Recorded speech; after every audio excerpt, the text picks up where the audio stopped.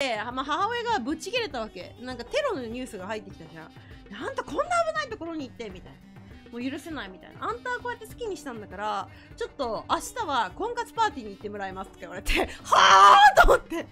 まあまあまあそれはいいとして婚活パーティーに行ってきたわけ。で婚活パーティー人生2回目か3回目でさおーとか思ってさなんかちょっとそわそわしながら行ったわけ。でなんかあの家の近くの婚活パーティーに行ったの。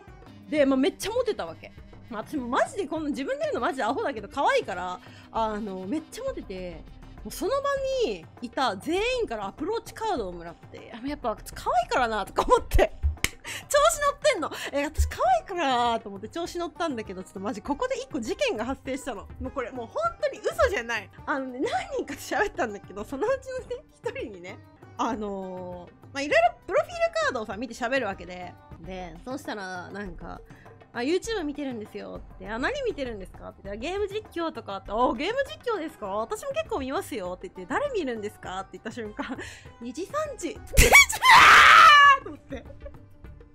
私その瞬間、心の中で、うわーって言いながら、え？って言って、顔めっちゃ固まったんだよね。あ？で、え？はあ、あ、そうなんですねつってちょっと声変えたの。ちょっと声変えて高い声で「あそうなんですね」つって「あそうなんですね。23時結構分かりますよ私も」とか言って「どなたが好きなんですか?」って聞いたの。でこんなこと言うとマジであれなんだけど。どうせねどうせ可愛い女たちだろうと思ったわけ。リゼとかリゼとか例えばもう卒業しちゃったけど鈴原ルルとか。もう大抵その辺だろうなと思ったわけ。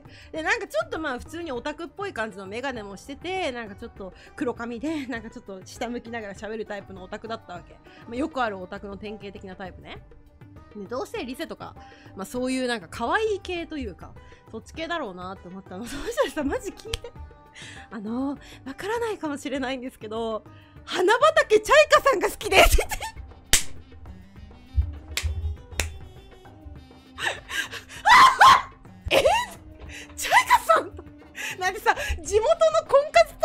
さ花畑チャイカの名前を聞くとは思わないじゃん。えびっくりしちゃって。ええチャチャイカですか？えなんか可愛い系も好きなんですけどなんかそのチャイカさん面白い系の人が好きでって言ってて。面白い系？と思って。あ割と私そっち寄りだけどなとか思いながら。でなんかそのねグンドさんは「どなたが好きなんですか?」って言われて。やばい。やばい。やばいと思って。ああ2時3時はあんまりちょっと見てるんですけどなんか特別推しっていう人はそこまでいなくてみたいな。あえ僕もそうなんですよ。みたいな。2時3時箱推しではあるんですけどいやまだ1年ぐらいしか見れてなくてって言い出すわけ。1年見てたら1年2時3時見てたら絶対軍の見でたどり着いてるやんと思って。れに1回は触れたことあるやろと思って。まあまあ見るやんと思って。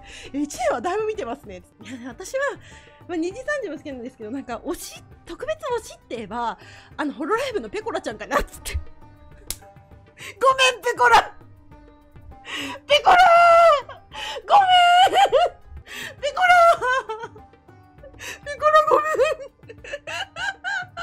でも話そらそうと思ってその人のプロフィールカードに旅行って書いてあった旅行って書いてあったから、あ、この話しようと思って、あ、あ、そういえば旅行も趣味なんですね、みたいな。私も旅行趣味だから気が合いそうですね、みたいな話をしたわけ。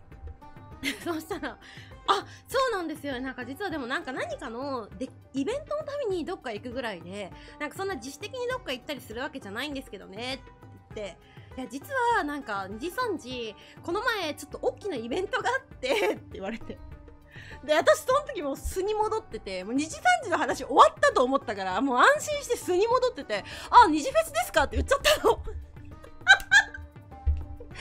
あ あ、2時フェスですか？って。え、知ってるんですか？って言われて、めっちゃ詳しいですねみたいな。え、行ったんですか？って言われて、あ、あ、行ったんですね。とか言って、勝手にさ、行ったことにされてさ、行ったっていうか、いたっていうか、なんていうか、えでもなんか女の人って大抵なんか不破さんとか好きなイメージあるんですけど不破さんのこと好きじゃないんですか？とか言われて。これ好きじゃないって言っても今後のムンブロに差し支えると思って不破のこと好きじゃないって言ったら自分の中でなんかムンブロ次の予定立ってるしなんかちょっと言いづらくなると思って、まあ、嫌いじゃないですけどねとか言って。面白いですよね とか言って。でそうしてたらもう終わって。終わって時間終わって。もう二度と喋らないぞって思ったらで最後になんかアプローチカードっていうのが渡されてその人からあのもっと2時3時の話したいです。よかったらお願いしますって LINE の ID 書かれてたけどあの捨てましたよ。ろしくお願いします。あの時の人見てたかもしれません。もしかしたらねこの配信見てるかもしれないんですけど捨てました。本当によろしくお願いします。私のことは忘れてください。えちなみに私マッチングしたの。なんか最後にカップル成立っていうのがあってマッチングっていうかカップル成立か。すごいなんかそれが衝撃でなんかあんまりそのカップル成立した人との会話を覚えてなくて。LINE 交換してじゃあ来週の土曜日会いましょうねっていう話になってんの。誰だったか覚えてないんだよね。もう2時3時のさチャイが好きな男が頭から離れんくて覚えてなくて。えでもねそのマッチングっていうかカップリング成立した人すごかった。あのなんか年収書く欄があってあのおおめっちゃ高いですね年収みたいな。あすごいなんかお仕事頑張ってらっしゃるんですか？みたいなこと言ってあなんか学歴がいいからちょっとなんかいい感じでもらってるだけだと思いますみたいなこと言うから。あーどこなんです？大学って言ったら。ああの東大ですって言われて。うわうわ付き合おうっつって。その会話しか覚えてない。だからもう私の中でその人のイメージまで東大しか残ってない。え東大の理さんの引率すごくない？東大理さんってマジ初めて生で見た。いるんだと思って。逃しません。マジ。近々結婚報告あったらその人だなって思ってください。